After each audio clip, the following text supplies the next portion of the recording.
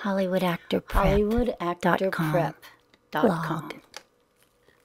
Blog. for sure. But I also like, I think, you know, in television especially, I just like go out for whatever because there's so many like the lawyer and the this and the the and the whatever. I mean, obviously, if there's like if they're casting a family, it becomes harder. You know, then it becomes specific to ethnic type. Um, and uh, definitely like there are those it does get a little tiring like week after week being like this is you're the terrorist's girlfriend or you're the terrorist's mother or you're the terrorist's sister and you know i end up having to like be upset and cry in a whole lot of auditions.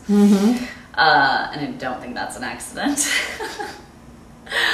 Uh, but yeah i do i do and i and i've auditioned for like a lot of other you know nationalities and ethnicities too indian french italian that kind of thing i speak i speak french um, so you know I, I i think as i work more and more that'll become that'll open up that kind I think it's also getting better all the time. yeah I think.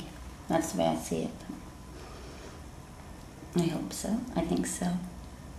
Um, and I think there's more roles for women as time goes on too. Different yeah. roles. Well, I, I started. I mean, since I moved out here and since I kind of saw what was out here, that's when I kind of realized I wanted to write as well. Mm -hmm. And I've been doing a lot of writing, and I hope to, you know, develop my own screenplays and that kind of thing Mhm. because I think that's really important hmm to create really good roles for for the ladies because Mhm. there aren't. I mean, like there's like you know for everything on the breakdowns, for every one female role, there's like 15 male roles.